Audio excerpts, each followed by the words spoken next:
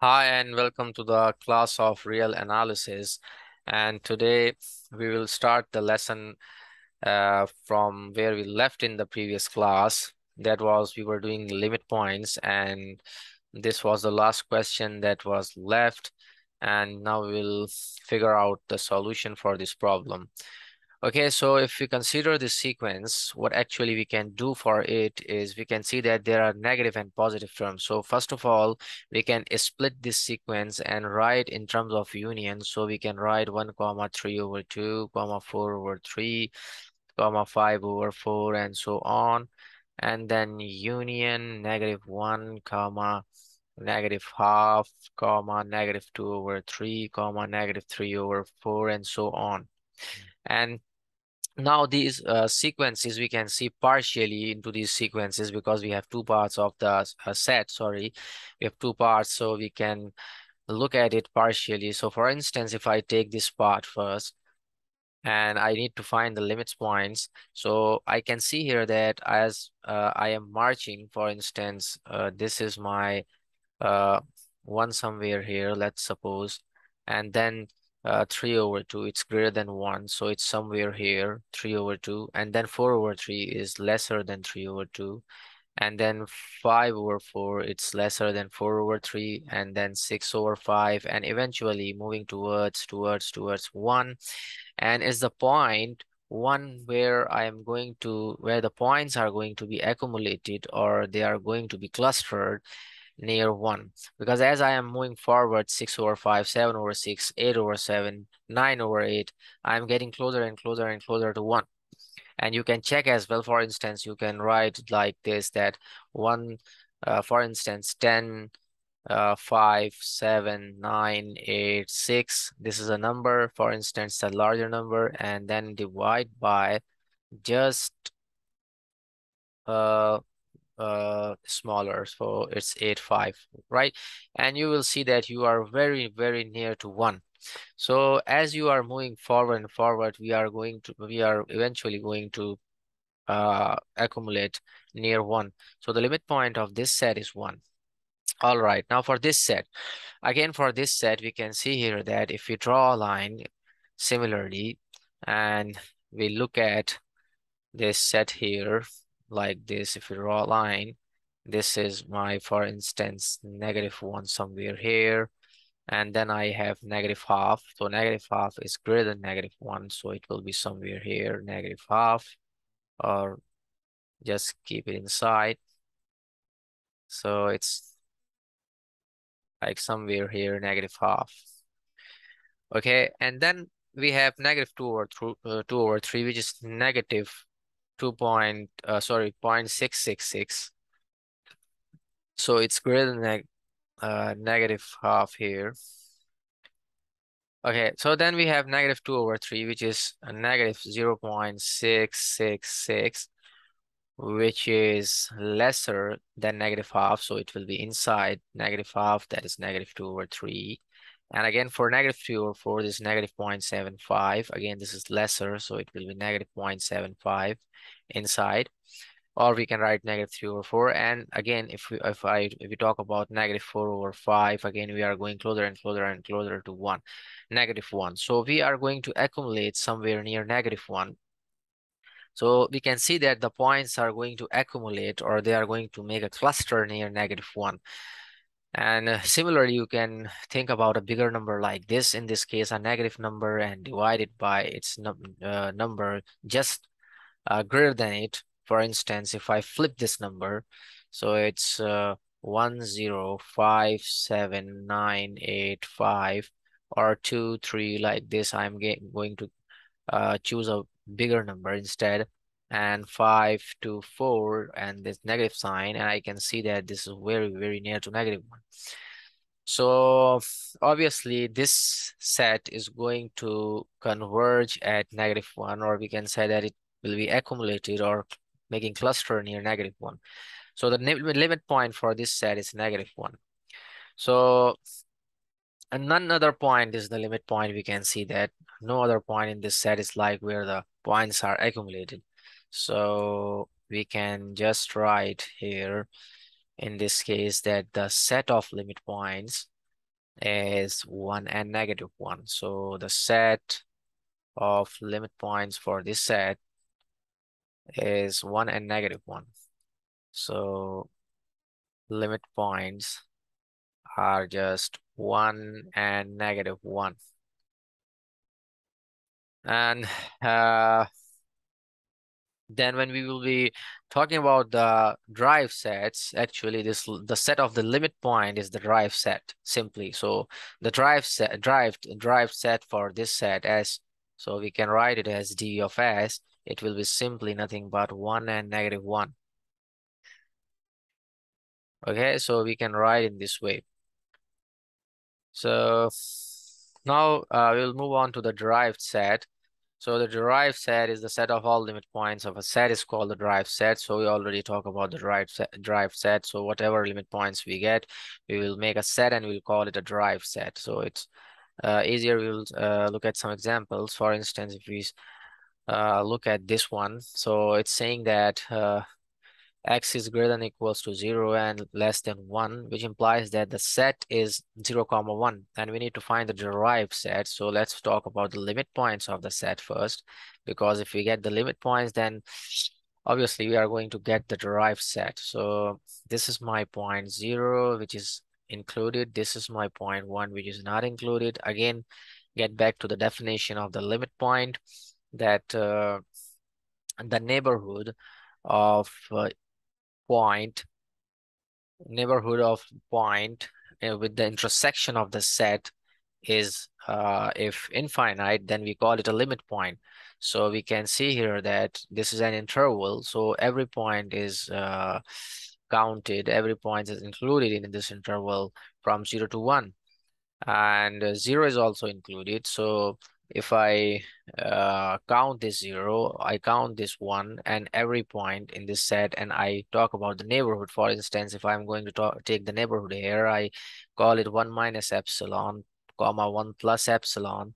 And if I am going to uh, get the intersection of this set now, this neighborhood of this one with this S, then of course I am going to get inf infinite points because we know that this is my 1 minus epsilon. So these all points are infinite points or uh, epsilon is like uh, for each epsilon greater than 0. For all epsilon greater than 0, we have the def in definition that for every epsilon. So which means that I can take it uh, uh or the epsilon to here, here, here, somewhere in the set. It's up to me, right? So uh, we are taking as smaller as smaller we can because we need to show that uh, whatever epsilon we are taking uh, around this point, that is one, and then we we are going to take the intersection of this set of uh, the neighborhood of one with the set original set S, then is going to be infinite right? So that's the definition of limit point. So this point satisfies the definition of limit point. Even this uh, 1 plus epsilon is not included in the set, but we don't need it to be included in the set because we just need to see the uh, look at this thing that the intersection of this neighborhood with the set should be infinite. That is only what we need, right? So it's not necessary that this also should be included in the set. It's not necessary for the limit point.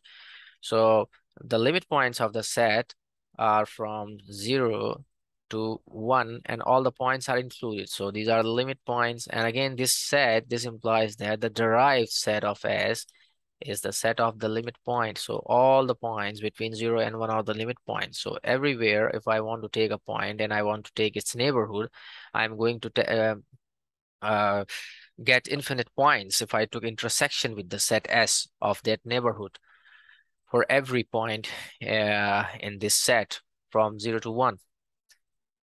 And uh, again, for this one, now I, we can see that it's uh, 0, x1, but x is rational this time. Now x is rational.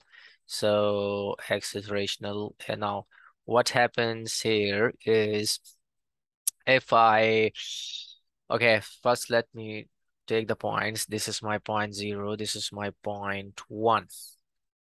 Now, this x belongs to the rational numbers, which means that uh, which means that uh, some numbers will be missing in between. For instance, if I uh, want to write some numbers between 0 to 1 rationals, for instance, it's half, it's 2 by 3, it's 3 by 4, it's uh, 5 uh, by 6, for instance. But if we want to take a, small neighborhood around these points, or any point, in fact, any point, uh, let's say if I took this point, 1 over 2, for instance, or I took 2 over 3, and if I want to draw a, a small neighborhood that is 2, 2 over 3 minus epsilon, comma 2 over 3 plus epsilon, and if I want to take the intersection with the set, then I'm going to get this intersection empty because there are no numbers in the neighborhood of 2 over 3 we can see we, we know that in the rationals uh, they are not complete. There are gaps between rationals. So there are many irrationals in the neighborhood of this rational number and which does not belongs to the set but uh, if you remember uh, about the limit point that uh, we define the limit point that limit point is not necessarily uh, that it's not necessary for the limit point to be in the set. It can be outside the set. So the limit point actually belongs to R. So now what will happen here that if I take neighborhood of 2 over 3, for instance, if I was taking neighborhood of 2 over 3, sorry, I write mistakenly because I was uh, talking in the sense of rationals. But in the limit point, we know that the definition of the limit point, for limit points, we need to check whether the limit point uh, belongs to R. Okay, it's not necessary for the limit point to be in the set. So x is rational. So if I uh, took any point, any rational number between 0 and 1, and I want to take the neighborhood of that number, that number, I will uh, get a lot of uh, real numbers, irrational numbers, for instance, uh, in the neighborhood, rational and irrational numbers. But uh, the numbers uh, belongs to R. So the, uh, the, the numbers belongs to R, which means that uh, every real number, every real number between 0 and 1 will be the limit point.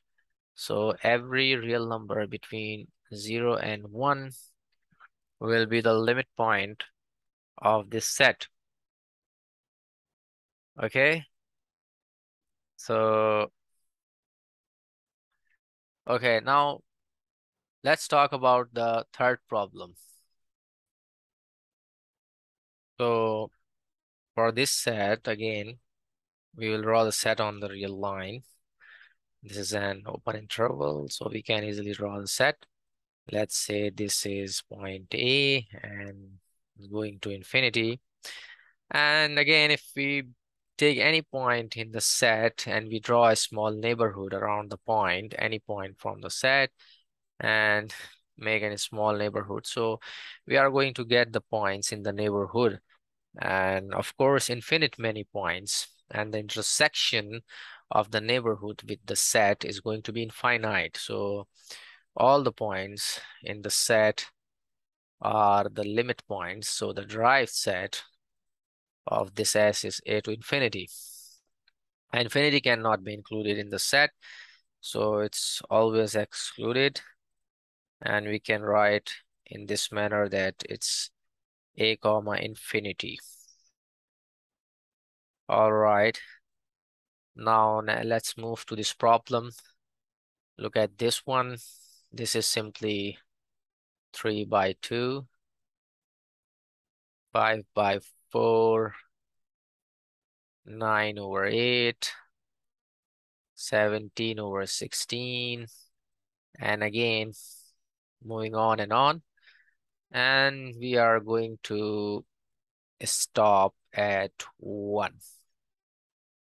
Because again, if we draw this set on this line, then 3 over 2 is the bigger element, then 5 over 4 is smaller, then 9 over 8 smaller 17 over 16 is smaller and smaller and smaller and smaller and we are going to touch near 1 so there will be a lot of accumulation around this 1 so 1 is the limit point for this set. So the derived set is singleton 1. Okay. Now, if we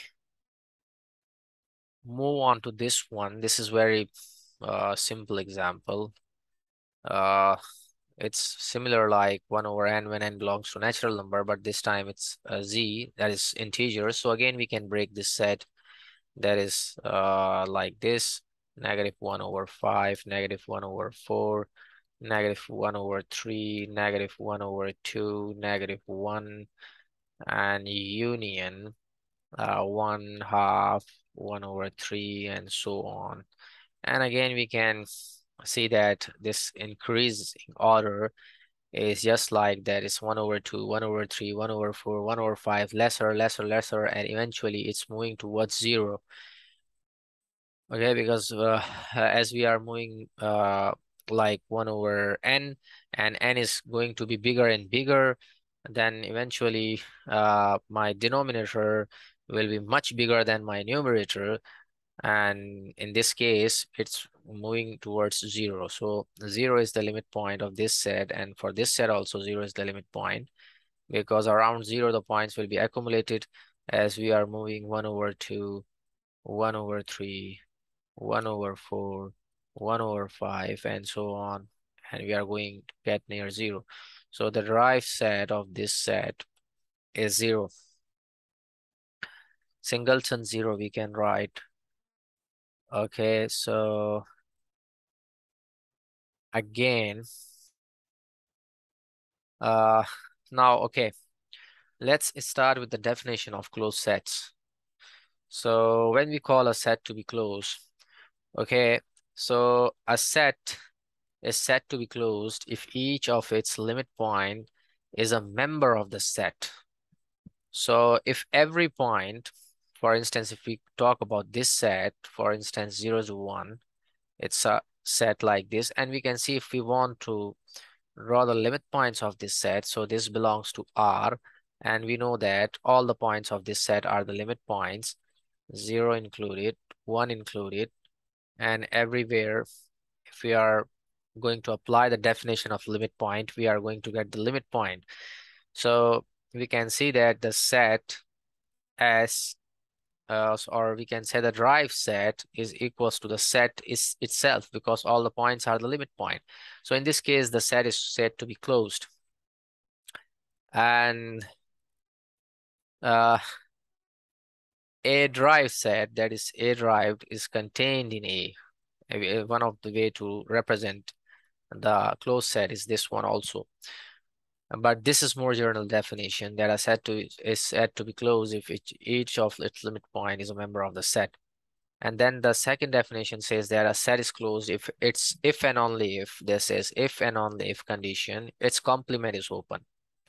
Okay, if we write this set 0 comma 1, for instance, and if we want to take the complement, and remember when we talk about complement, in this course, real analysis, we are talking about the universe that is the real line because complement is the set, we are subtracting the set from its universal set. So the universe is R in real analysis. Universe is always R.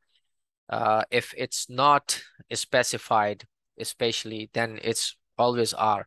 So the universe is R, so R minus the set. This complement of 0, 1 set means that r minus 0, 1. So it will be an open interval or open set.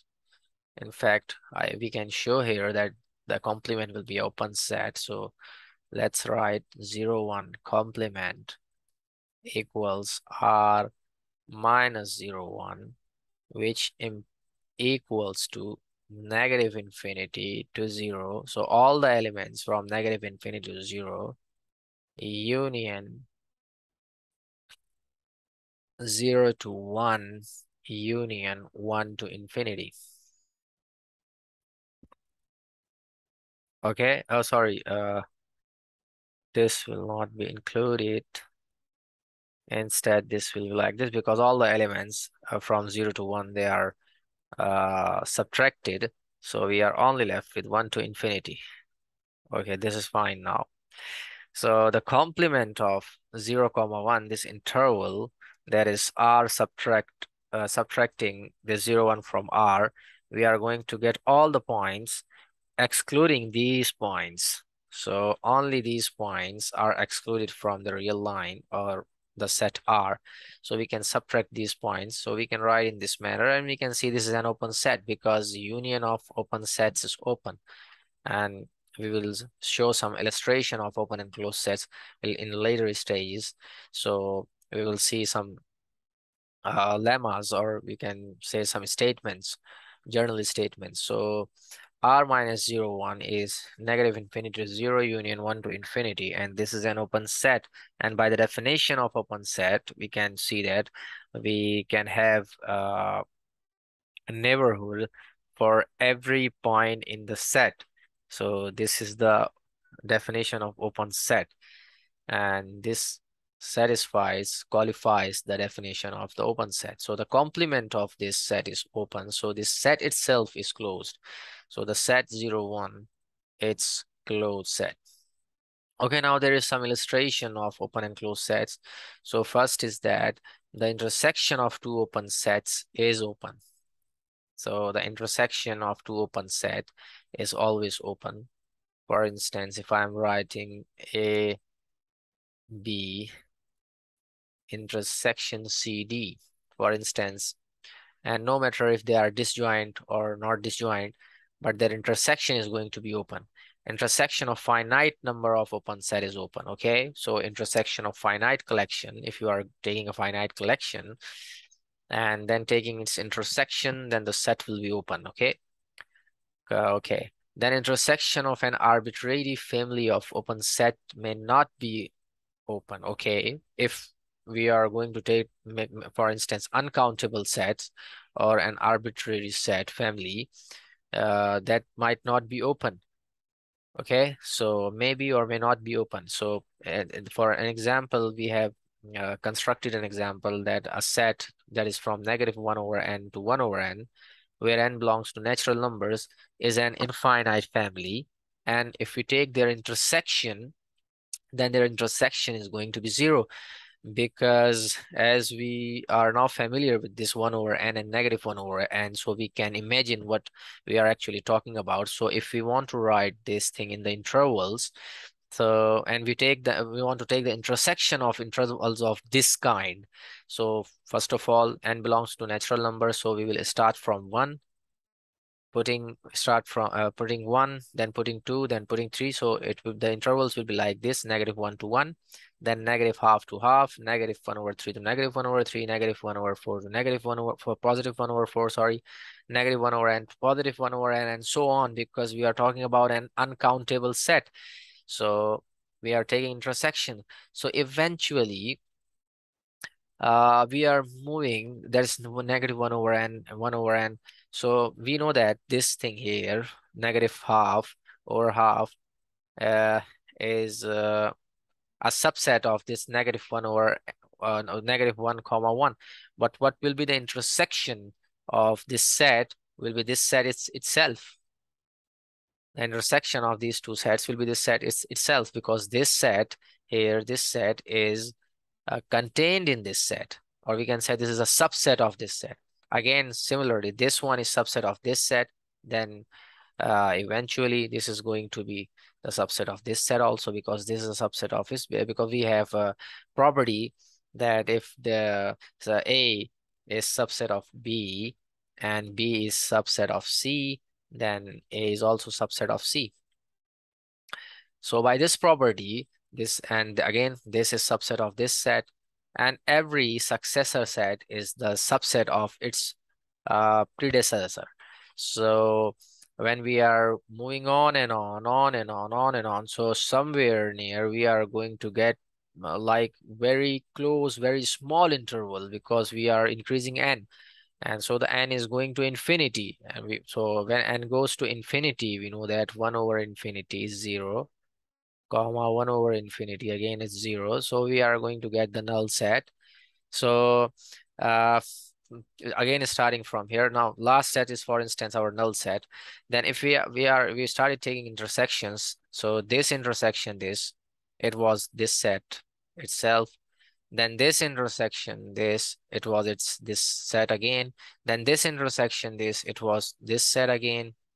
Okay, similarly, we are going to get the successor set again and again. So the last set is going to be the zero, which is uh, which has no successor. So the intersection of all these set is going to be zero. So this is an empty set. So we know that null set is uh, a closed set. So uh, by this uh, example, counterexample, we see we saw that the intersection of an arbitrary family of open sets may not be open, so it's a closed set zero. Okay, and then we have the third condition that union of an arbitrary family of open set is open. So we can take uh, union of uh, arbitrary arbitrary union of family of open sets and we will get an open set. Uh, by arbitrary means we, we can take infinite elements or we can take infinite sets uh, sorry uh, uncountable sets. Infinite uncountable countable it's up to us. So arbitrary means that we are free to choose any kind of uh, set collection. So we are going to get the open. So union of an arbitrary family of open set is open. Union of two closed set is closed. Okay union of two closed set is closed union of finite number of closed set is closed okay? So union of arbitrary number of open set is not closed. So unlike in uh, the open set the union of uh, infinite or sorry arbitrary union was open of open set was open but here union of finite number of closed set is closed. So we cannot take arbitrary union right? The and we have constructed an example as well union of arbitrary family of closed set may not be closed. And here is an example. This is a closed set, 1 over n comma 1. Again, if we want to construct the intervals, we can construct in this manner, 1 comma 1, union 1 over 2 comma 1, union this, this, this, this, this. And now this union, again, this n is going to infinity. So we know that 1 over n, as n goes to infinity, is marching towards 0. So we will get the last set as 0 comma 1. So 0 cannot be included in the set. Okay, 0 cannot be included in the set because we are uh, uh, tending towards infinity, but we are not equals to infinity, right? So 0 cannot be included in the set. So the union, we can see that it's not closed. It's open from one side. So there is a difference between that we are tending towards infinity and we are equals to infinity. So keep this difference in your mind. So 1 over n tends to infinity does not means that, uh, sorry, uh, n tends to infinity does not means that uh, uh, that n is equals to infinity because infinity, we cannot think about infinity. It just means that you are marching towards zero. You are tending towards zero when you are taking, when, when you are, we are taking n bigger and bigger. So that's pretty simple. So again, intersection of an arbitrary family of closed set is closed, okay?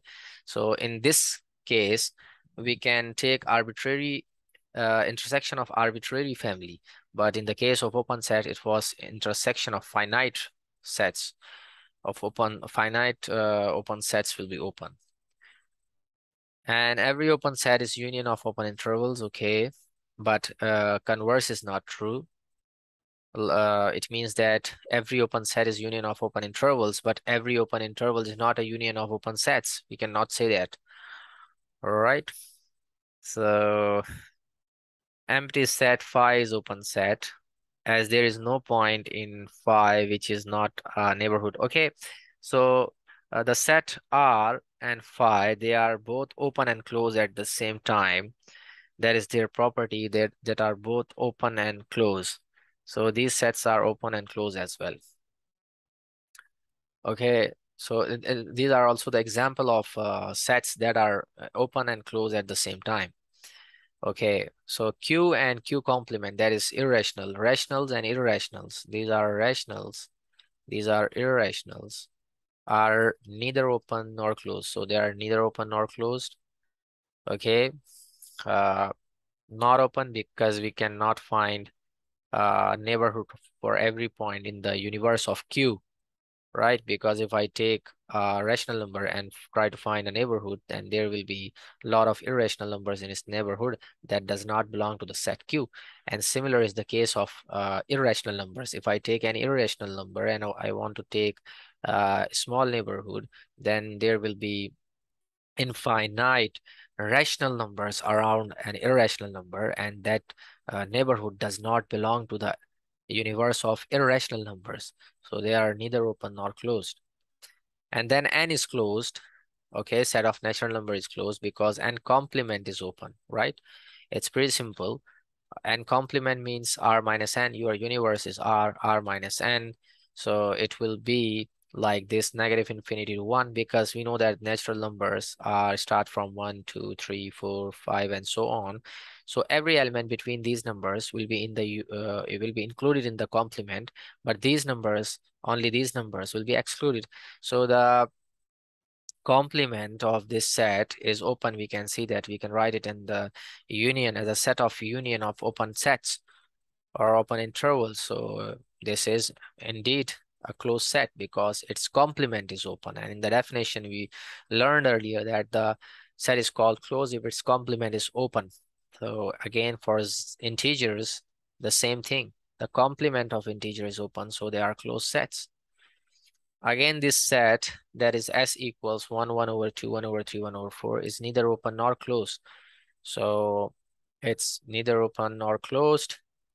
Uh, neither open nor closed means it's not open, not, not closed simply. We can see that there are a lot of points missing in the neighborhood. So it's not open. For instance, if I take 1 over 4, and if I try to find some small neighborhood, so there are a lot of points. There are not in the neighborhood of 1 over, there is there are no points, uh, in fact, in the neighborhood of 1 over 4, a small neighborhood. I by, by neighborhood, I mean a small neighborhood. So this is not open and nor closed. Uh, why not closed? If I, okay, uh, one more definition of closed set was that uh, if the set of limit point is equal to the set itself, then it itself is uh, set, the set itself is called a closed set. If we can look back at the closed set, yes. Uh, a set is said to be closed if each of its limit point is a member of the set. But in this case, we can see that the only limit point is one. Only limit point. Oh, sorry, not one, not one. The limit point is zero. And because this is marching towards zero and it's not included in the set so we are talking about all points to be included to for a set to be closed, but the limit point is a single point, in fact, and it's not included in the set, so it's neither open nor closed. And for this set again, we can check that this is neither open nor closed, same condition. So uh, now we can move on to the next definition that is adherent points. So it's very important adherent point. A point x belong to r. Again this adherent point need not to be not necessarily to be in the set. So it it it just belongs to the real numbers. X belongs to r.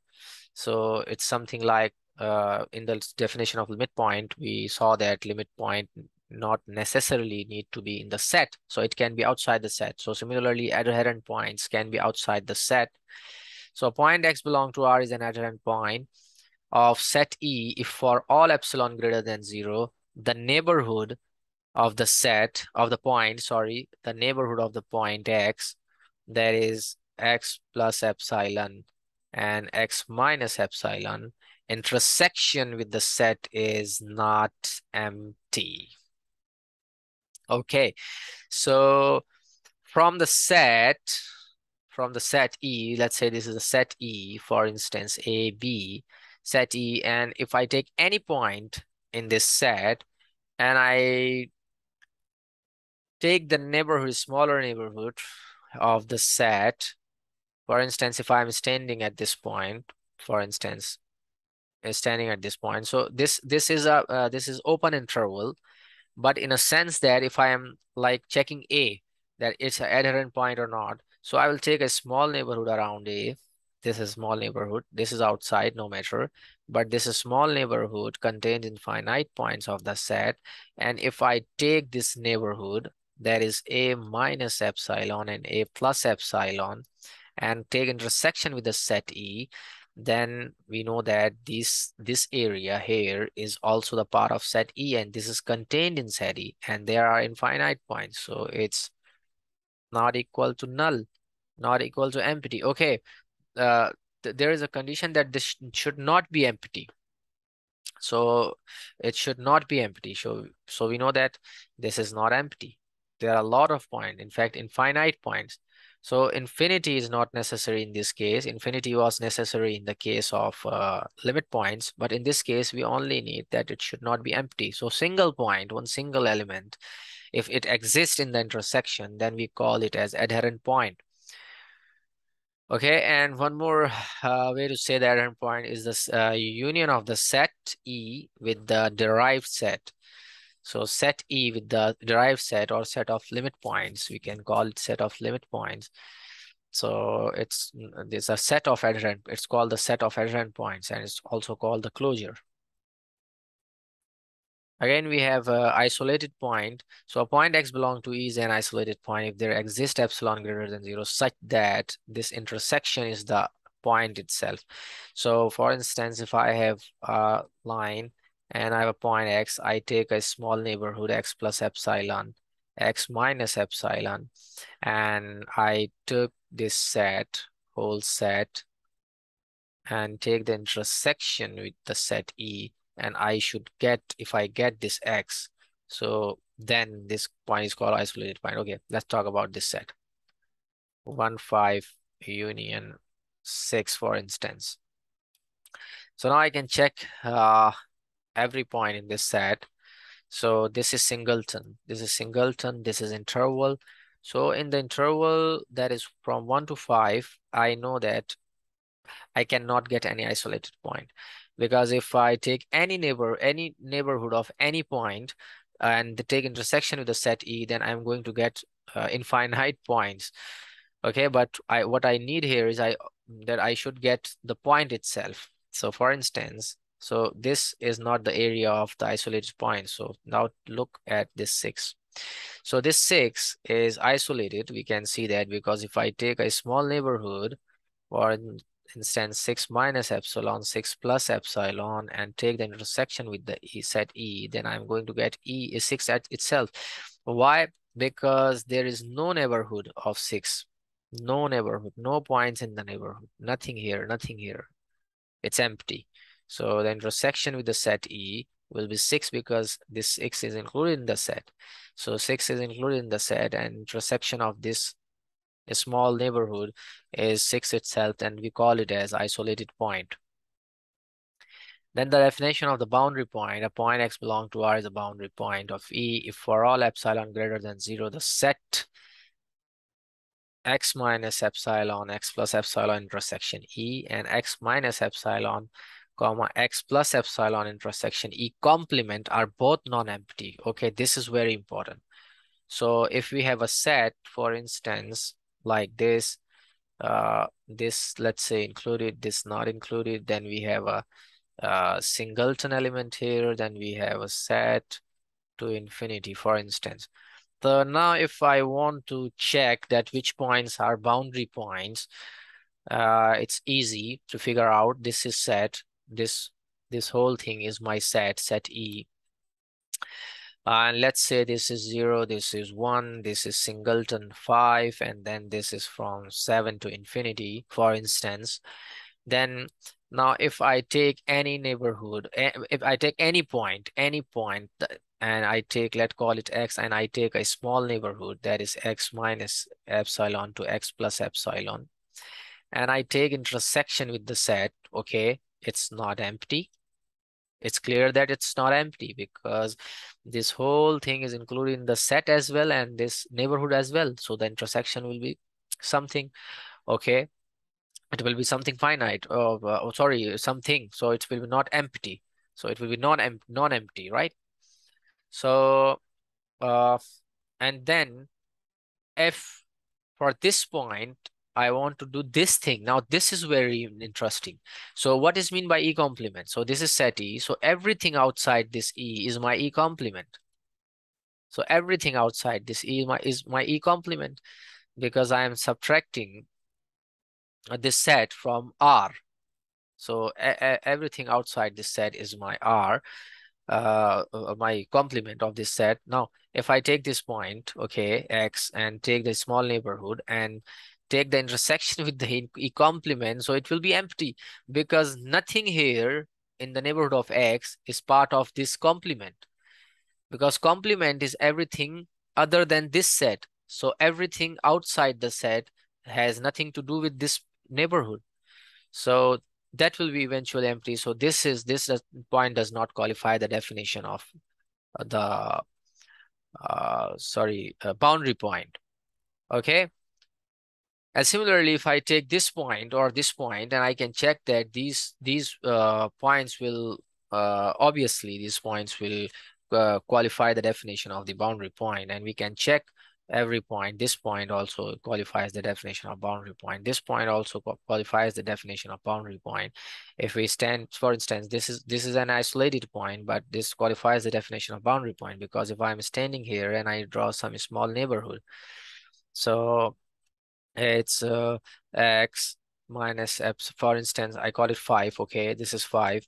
So five minus epsilon, five minus epsilon, five plus epsilon and take intersection with the set E. So I get 5 itself because nothing is in the neighborhood of 5. So 5 itself. And again, if I want to take the intersection, intersection, uh, E complement, okay? Okay, one more thing. I forgot to uh, tell this thing that this uh, area here, this line here, red line, we can see this is also not the part of the set. This is also not the part of the set because there is a gap from 1 to 5 because 5 is singleton.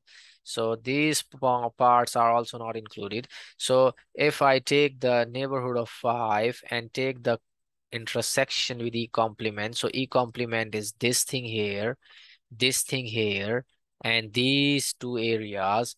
So eventually if I'm going to take the intersection with the complement uh, for 5 minus epsilon, 5 plus epsilon. So this, this red area here is the neighborhood of 5. This red area is in the neighborhood of 5. So the intersection with the complement, and this is part of the complement. So again, it's not equal to empty. It's not empty. So this also qualifies the definition of the boundary point. So this is also a boundary point. And similarly, this point also qualifies the definition of boundary point. We can check it. Okay, so hope you guys understand this lesson with these examples. Uh, I took uh, try to take a lot of examples uh, for the better understanding. So try to go through the whole lesson. And if you want to ask anything, you can ask in the comment box. Thanks for watching the lesson. That's all for the time being.